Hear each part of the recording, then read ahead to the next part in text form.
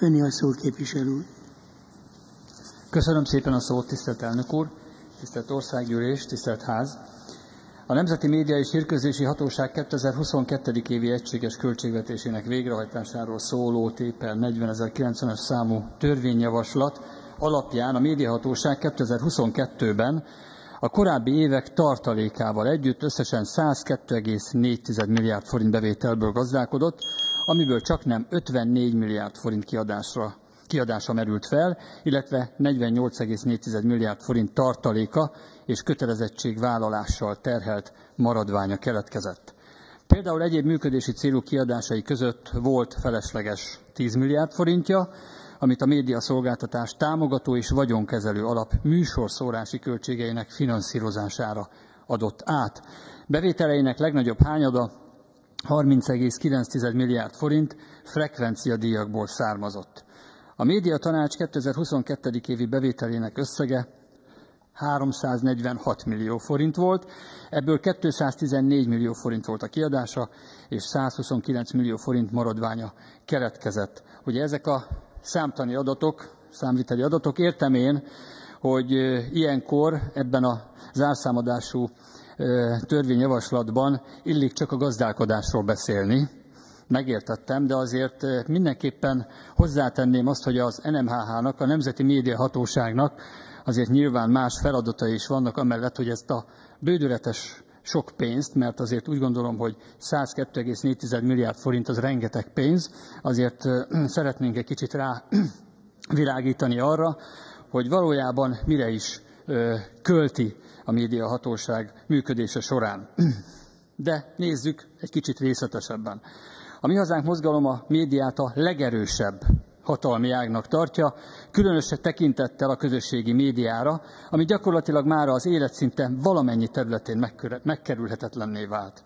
Ezért is tartjuk kiemelten fontosnak, hogy a médiahatóság és a médiatanács az éves költségvetéséből megfelelően ellássa feladatát, többek között a kiegyensúlyozottság követelményének médiafelügyeletével.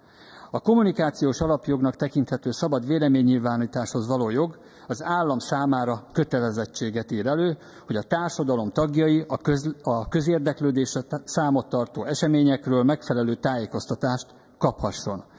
A sajtótörvények azonban jelenleg a kiegyensúlyozott tájékoztatás követelményét csak a lineáris médiaszolgáltatásokra nézve írja elő, a gyakorlatban ráadásul még ez sem érvényesül, tehát a média hatóságnak itt is őrült sok feladata lenne.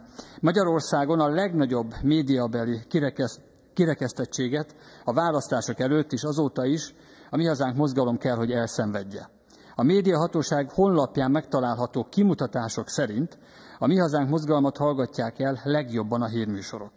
A választások előtti hónapokban években a politikusok között a hírműsorokban mindössze 0,2% megjelenés jutott a pártunknak.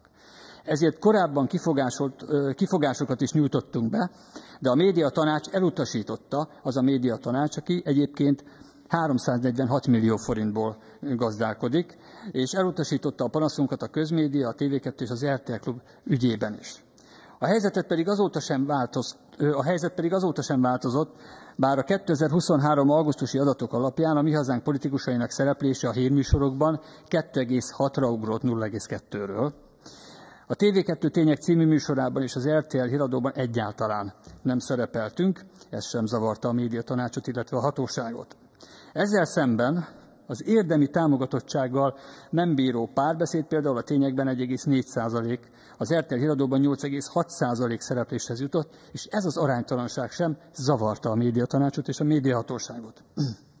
Különösen beszédes az is, hogy a 2022-es országgyűlési választások óta idén áprilisig a közmédia 6764 alkalommal hívott ellenzéki politikusokat szerepeltetni, ebből a Mi Hazánk mozgalom összesen 26 meghívást kapott, tehát 6764-ből összesen 26 meghívást kapott. Természetesen a pártunk minden alkalommal el is fogadta és el is ment. A többi ellenzéki párt 6603 esetben még meg sem jelent. Ez sem zavarta a média tanácsot és a média hatóságot. Az adatok egyértelműen kimutatják, hogy Magyarországon nincs kiegyensúlyozottság a lineáris média szolgáltatásokra nézve, A közösségi médiában pedig példátlan cenzúra folyik. A Facebookon az ember még a saját megnyilatkozásaiban sem mondhatja el, amit szeretne. A pártok közül szintén egyedüliként a Mi Hazánk mozgalom oldalát tiltották le, a politikusok közül szintén egyedüliként Torockai László Facebook oldalát törölték le már 2019-es EP kampányban. Azóta nem, hogy ő nem jelenhet meg saját oldallal, de mi sem írhatjuk le az ő nevét, de nem csak a mi hazánkat, hanem a Magyarországon törvényesen működő, bejegyzett civil szervezetet, a 64 Vármegye ifjúsági mozgalom nevét sem lehet a Facebookon megemlíteni. A Mi Hazánk mozgalom szót emel a jogsértések ellen, ami egyre több magyar ember csújt a közösségi oldalakon. Úgy tűnik, hogy a kormány is kiegyezett a Facebookkal, ahelyett, hogy például kötelezné, legyen egyértelmű magyarországi képviselete, illetve jogorvoslati fóruma az önkényes jogtriplásokkal szemben. A médiahatóság miért nem lép az egyben? Nagyon sok pénzből gazdálkodik, a médiatanács is és a médiahatóság is, és a fülük botját nem mozdítják ennek a javítása érdekében. Álláspontunk szerint olyan szabályozásra volna szükség, ami a közösségi médiatulajdonosokat arra kötelezi, hogy Magyarországon is hozzanak létre telephelyet, láthatóak és elérhetőek legyenek a felhasználók számára. A magyar jog szerint is számon kérhetőek legyenek, a magyar állampolgárok adatai pedig csak magyarországi szervereken tárolják. Miért nem teszi a dolgát a médiahatóság és a médiatanács? Ehhez első lépésként szükségesnek tartjuk, hogy a kiegyensúlyozott tájékoztatás követelményét a lineáris médiaszolgáltatások mellett a lekérhető médiaszolgáltatásokra is kiterjesszék. A Mi Hazánk mozgalom tavaly a választást megelőző elhallgatása miatt 4 millió példányszámú újság kiadásáról döntött, de pártunk hiába szerződött a kampány támogatásból országos terjesztésre, az alvállalkozók kifaroltak, mert a Fideszes MediaWorks lányvállalata, a Medialog megfenyegette őket. A Medialog azért került monopól helyzetbe, mert a kormány megszüntette a Magyar Posta szolgáltatását a politikai kiadványok terén. A Medialog pedig megtagadta a mi hazánk kiadványainak terjesztését. A napnál is világosabb, hogy a regnáló kormány előfölényét kihasználva durván beleavatkozott a tájékoztatás kiegyensúlyozottságába. A médiahatóság és a médiatanács itt sem mozdította a fülebotját sem. A fizetett politikai hirdetéseknél olyan elképesztő jogtiprást tapasztaltunk, hogy még pénzért sem lehetett hirdetésekhez hozzájutni. A Mi Hazánk mozgalom fizetett politikai hirdetéseinek megjelentetését megtagadta a magyar nemzet, a Metropol, a Bors és, a tiz, és még 19 megyei lapnevében eljáró MediaWorks is.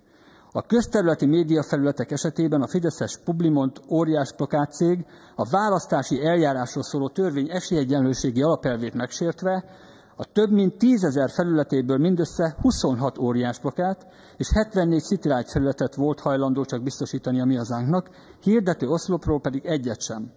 A Mi Hazánk mozgalom a Nemzeti Választási Bizottsághoz fordult kifogással, de az, EVM, de az NVB szerint nem volt bizonyított az aránytalanság. Összességében tehát Magyarországon nincs kiegyensúlyozott tájékoztatás, és ehhez 102,4 milliárd forint bevételből gazdálkodó NMHH a füle botját sem mozdítja. És még egyszer mondom, a 346 millió forintból gazdálkodó médiatanács szintén elviselte ezt az aránytalanságot.